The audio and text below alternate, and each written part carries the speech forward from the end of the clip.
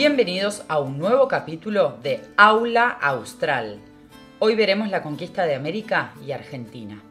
Cuando los europeos, en especial los españoles, comprobaron que el continente americano poseía grandes beneficios económicos, iniciaron un plan de conquista y colonización mediante la evangelización.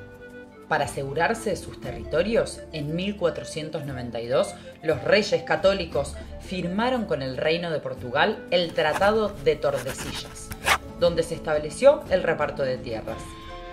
Pero, ¿cómo fue posible para unos pocos miles de europeos conquistar un enorme territorio con millones de americanos? Una de las razones fue la superioridad bélica.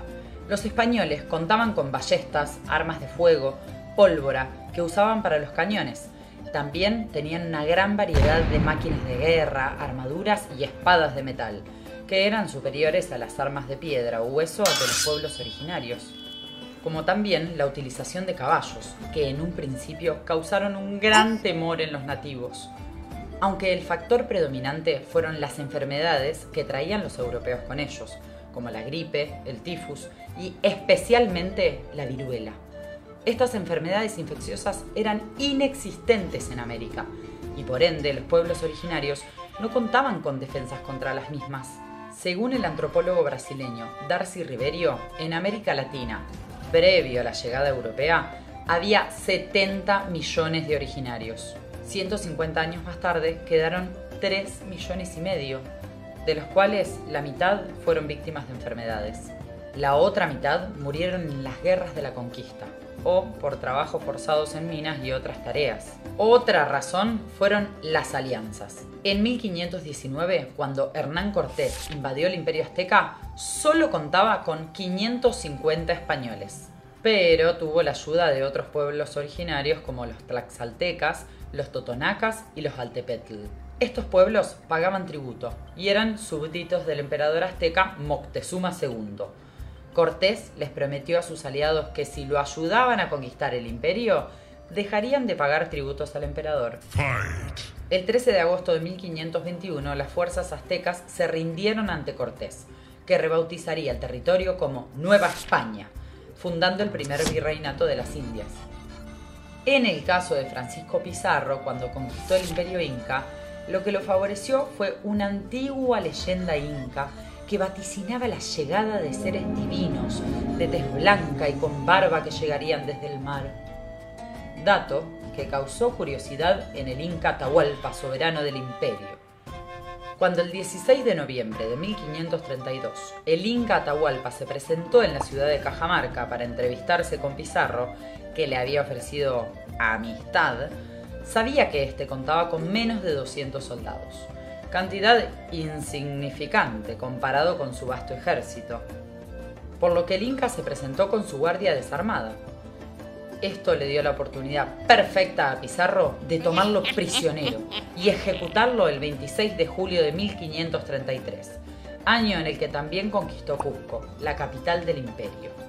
Con la muerte del rey Inca, Pizarro y sus aliados nativos marcharon sobre el imperio donde el 18 de enero de 1535 fundó la ciudad de los reyes, hoy Lima, que el 20 de noviembre de 1542 sería la capital del virreinato del Perú. Un año antes, el 12 de febrero de 1541, Pedro de Valdivia fundó la ciudad de Santiago en Chile. Dicho asentamiento sería una de las corrientes fundacionales del actual territorio argentino. Las otras dos corrientes provenían desde Lima y Asunción. Cabe destacar que las fundaciones de las ciudades tenían características en común. Se hacían alrededor de una plaza mayor donde se erigía un palo de justicia que servía las funciones de herramienta de castigo. Alrededor de la plaza se edificaban un cabildo y una iglesia, símbolos de los poderes políticos y religiosos. Otra particularidad que compartían era que muchas veces las ciudades eran fundadas y luego por motivos climáticos, políticos o por resistencia de los pueblos originarios eran trasladadas a otro lugar de emplazamiento. Así sucedió con la corriente que partió desde Chile donde se intentó crear en la región de Cuyo un cerco de poblaciones del otro lado de la cordillera, para defender las ciudades chilenas de los ataques nativos y las rutas de comercio al Perú, aunque luego terminó teniendo sus propios intereses, ajenos a Lima, y procuró conseguir una salida propia hacia el Atlántico. Partiendo desde Santiago, el 2 de marzo de 1561, Pedro del Castillo fundó la ciudad de Mendoza, aunque fue trasladada al año siguiente por Juan Jufre, que se adjudicó la fundación. Jufre siguió con su marcha, donde el 13 de junio de 1562 fundó la ciudad de San Juan. Para el año 1594, el hijo de Juan Jufre, Luis Jufre, era nombrado corregidor de la región de Cuyo.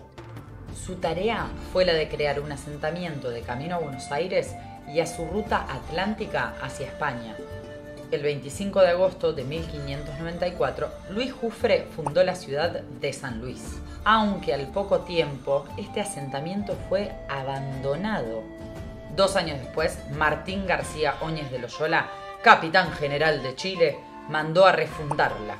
Entonces la ciudad recibió el nombre de San Luis de Loyola, Nueva Medina de Río Seco. Desde Asunción, que también buscaba la ruta hacia el Atlántico, se fundaron tres ciudades, Corrientes, Santa Fe y Buenos Aires, donde se crearía el tan ansiado puerto atlántico. El 3 de abril de 1588, Juan Torres de Vera y Aragón, junto a su sobrino, Alonso de Vera y Aragón, fundaron la ciudad de Corrientes como un asentamiento de paso en Asunción y Buenos Aires.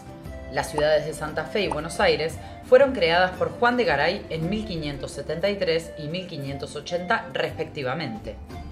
Para más información sobre Santa Fe y Buenos Aires, les dejo el link de arriba en la pantalla. Desde la capital del virreinato partieron expediciones que fundarían las ciudades del noroeste argentino. Estos territorios fueron disputados con los pueblos nativos en lo que se llamó las guerras calchaquíes donde los pueblos originarios, principalmente los diaguitas y calchaquíes, resistieron la presencia española. Para hacer frente a la avanzada aborigen se fundó Santiago del Estero, el primer asentamiento poblacional que persistió desde su fundación en 1553 hasta el presente. Además, esta ciudad fue la base de las corrientes colonizadoras que fundaron las actuales capitales del noroeste argentino y Córdoba. Su fundador definitivo, Francisco de Aguirre, luego de varios traslados por razones políticas entre la gobernación de Chile y Lima, estableció el 25 de julio de 1553 la ciudad de Santiago del Estero. El mismo Aguirre ordenó a Diego de Villarruel fundar la ciudad de Tucumán, en donde se encuentra un lugar llamado Ibatín, y fue allí en donde el 31 de mayo de 1565 se realizó la primera fundación de San Miguel de Tucumán y Nueva Tierra de Promisión, que fue el eje demográfico, económico y comercial del Río de la Plata y era la ruta obligada hacia el Alto Perú. La fundación de Córdoba a cargo de Jerónimo Luis Cabrera tiene una historia particular. Su misión, encargada por el virrey del Perú, Francisco Álvarez de Toledo, era la de fundar una ciudad en el norte, a la altura de Jujuy o Salta, para proteger la extracción de plata del Potosí. Pero Cabrera decidió desobedecer la orden del virrey e ir al sur y fundar el 6 de julio de 1573 la ciudad que bautizó Córdoba de la Nueva Andalucía. Esta decisión le terminaría costando la vida, ya que luego fue juzgado por desobediencia y condenado a muerte. La ciudad de la actual La Rioja fue fundada originalmente como Todos los Santos de la Nueva Rioja, el 20 de mayo de 1591 por Juan Ramírez de Velasco. La población originaria existente en la zona fue repartida por el fundador en encomiendas. Fueron cerca de 11.000 los indígenas distribuidos en distintas regiones del país. Otra de las ciudades creadas para proteger al Potosí fue la ciudad de Jujuy, fundada por Francisco Algarañaz el 19 de abril de 1593, luego de varias fundaciones arrasadas por ataques calchaquíes. aunque la fundación más retrasada por la guerra calchaquí fue sin lugar a dudas la ciudad de Catamarca, que recién sería fundada el 5 de julio de 1683 por Fernando de Mendoza y Mate de Luna, que la bautizó San Fernando del Valle de Catamarca. En la Patagonia, los intentos por colonizarla fueron escasos por estos años. A principios de 1535, Simón de Alcazaba intentó fundar un asentamiento en Chubut, pero el mal clima y el incesante hostigamiento nativo provocó que los pocos habitantes decidieran amotinarse y asesinar a Alcazaba. El territorio patagónico no volvería a haber intentos de conquista hasta fines de 1800. De esta manera quedaron conformadas la gobernación de Cuyo, la gobernación de Tucumán y la de Buenos Aires. De esta manera se completó la primera y más importante etapa de conquista en el territorio argentino. Aunque cuando nos referimos a conquista, lo hacemos tomando el punto de vista de los europeos. Si cambiamos el punto de vista hacia los pueblos originarios, la palabra que deberíamos usar sería, sin dudas, la de invasión. Si te gustó este video y querés saber cómo sigue la historia de Argentina, dale like y suscríbete a nuestro canal.